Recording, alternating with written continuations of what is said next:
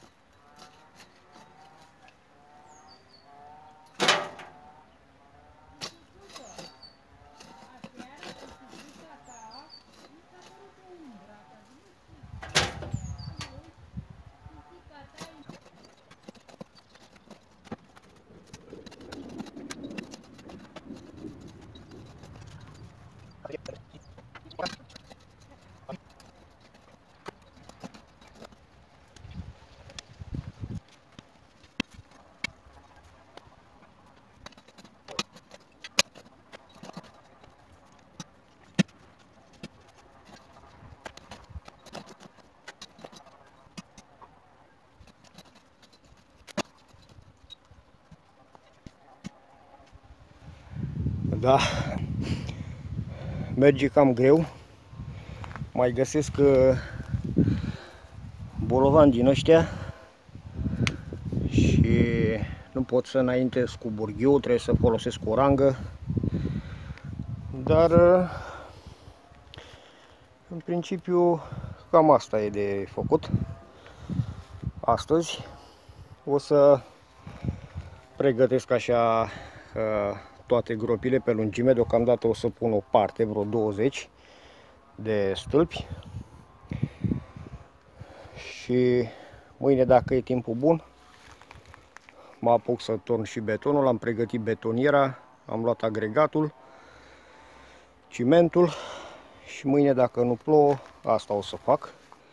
Plantez uh, babele astea, stâlpii ăștia.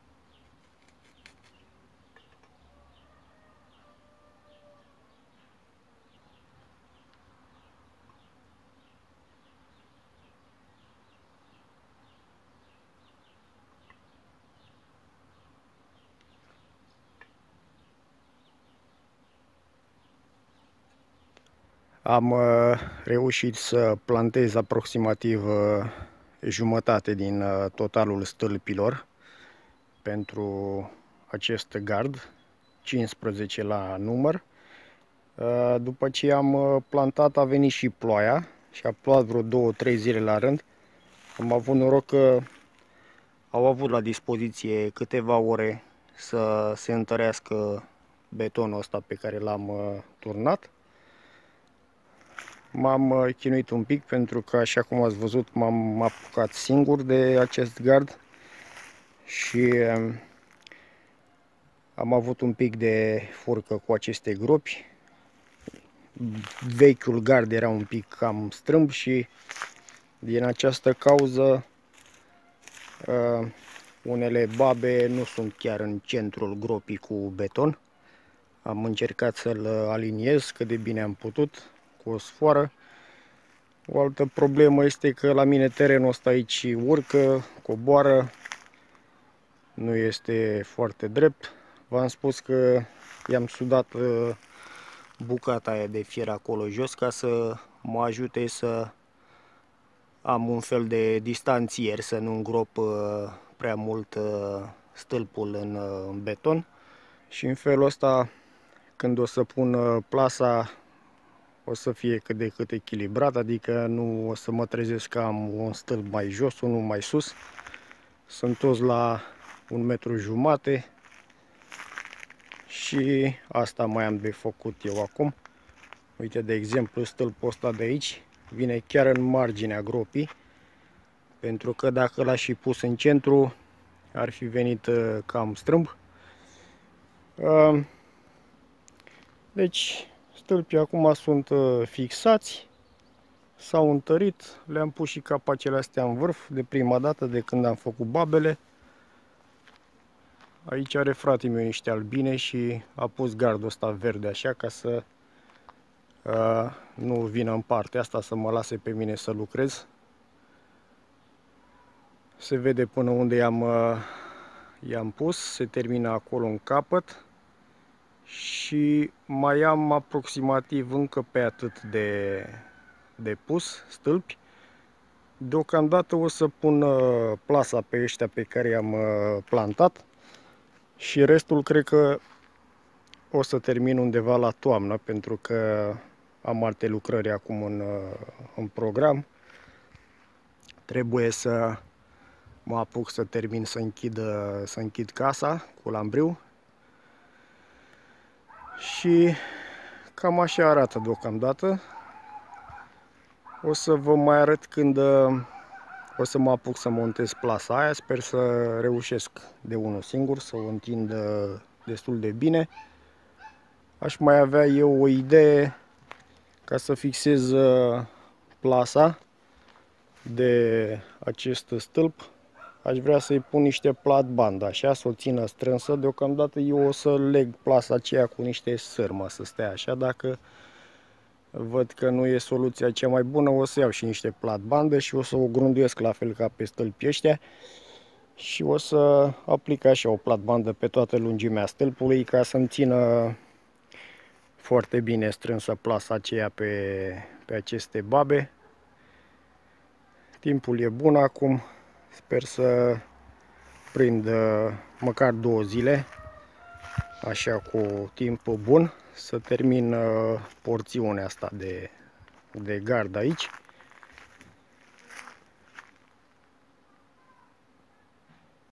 Cu betoniera asta m-am descurcat destul de bine. Este o unealtă fără de care nu pot să faci astfel de lucrări. Ar fi fost o muncă mult prea epuizantă pentru mine, cel puțin de unul singur.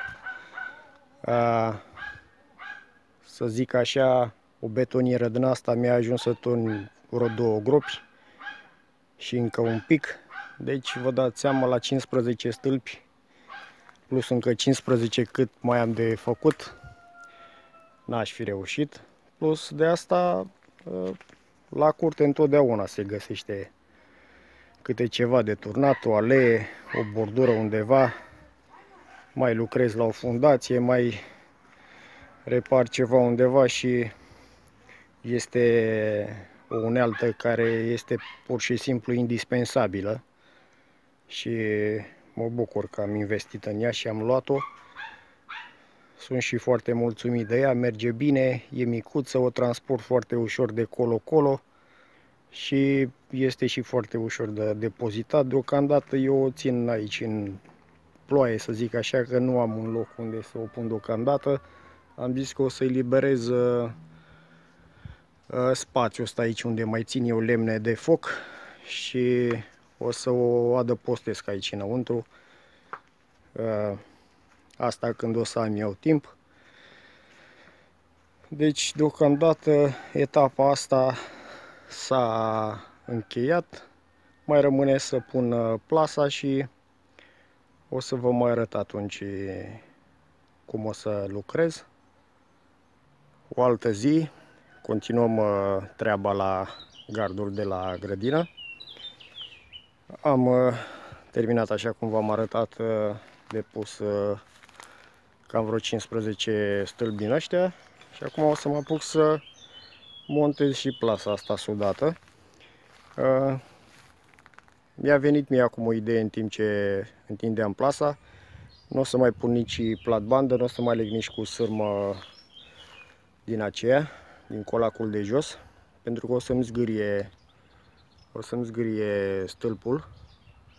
În schimb o să fixez plasa cu niște autoforante de genul ăsta așa, cu floare lată. Și o să țină strâns sârma pe stâlp și în felul ăsta cred că am rezolvat problema pentru că n-avea rost să stau să migălesc și la platbanda aia, trebuia tăiată, trebuia grunduită și oricum trebuia prinsă. O să fac așa încercare cu autoforantele astea și o să încerc să prind astăzi plasa până acolo în capăt unde face curba aia la stânga și după aceea o să las, o să las liber acolo să pot să trec cu roaba cu beton când o să am nevoie să continui uh, plantarea stâlpilor până în capăt de tot.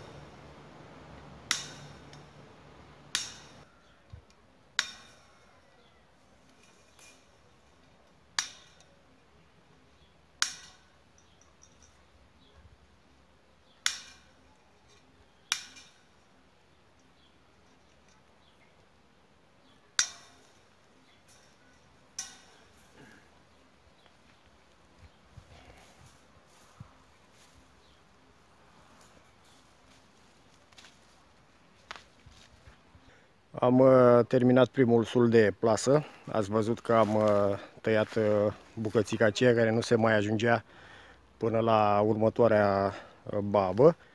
Cam asta am făcut până acum. Atât mi-a ajuns un sul de 20 de metri. Um, am încercat să întind plasa cât de bine am putut, având în vedere că am lucrat de unul singur și mi-a fost foarte greu să țin plasa tensionată cu o singură mână și cu a doua să înfiletez uh, autoforantul. Autoforantele le-am uh, prins cam așa. Sper că am reușit să surprind și modul în care le-am uh, prins. Aș fi putut să caut niște șaibe mai late, să cuprindă și mai bine, dar nu ar mai fi intrat suficient de mult în țeavă și le-am strâns destul de bine și cred că vor sta foarte bine. În orice caz mult mai bine decât cu sârmă.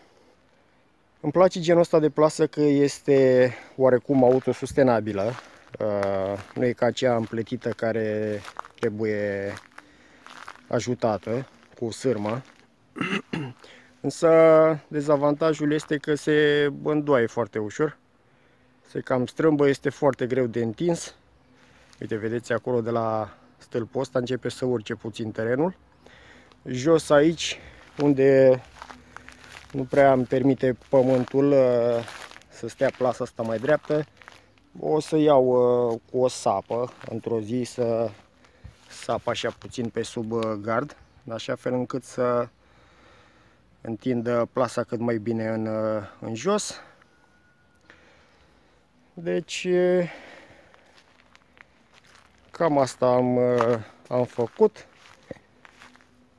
Am pus plasa pe partea cealaltă, pe partea cu vecinul, pentru că oricum nu aș fi reușit să desfășor sulul de sârmă. Vedeți că am aici niște coacăzi din aceștia roșii. Mi-ar fi fost foarte greu să desfășor sulul de plasă printre ei, așa că am pus-o pe partea cu vecinul și oricum am gândit să las stâlpul pe partea mea, că poate pe viitor o să am nevoie să prind ceva de el, vreun suport ceva și sau să intervin cumva la, la stâlp și să am acces cât mai, cât mai ușor.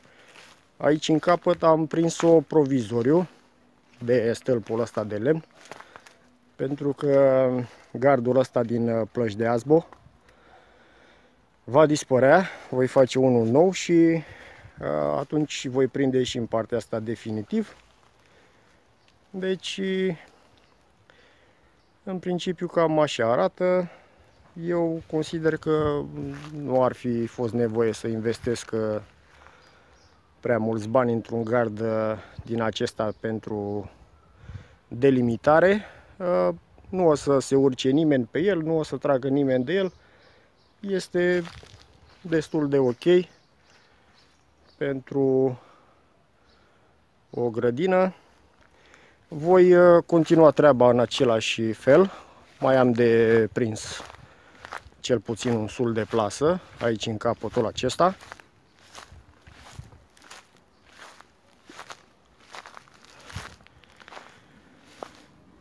Voi continua în același fel.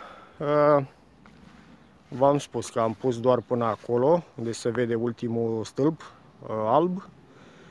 Mai am aproximativ uh, cam aceeași distanță de făcut la gard. Dar uh, o să continui în toamnă. Pentru că acum am alte treburi. Eu voi continua până aici, la stâlpul ăsta. Și îmi voi lăsa un spațiu de intrare pentru roaba cu beton. Deci v-am v-am arătat cam așa arată gărdulețul meu. Vă mulțumesc dacă ați avut răbdarea să urmăriți acest videoclip și cel anterior în care pregăteam uh, materialele. Vă aștept să mă urmăriți în continuare. Vă doresc numai bine și mult spor la treburi.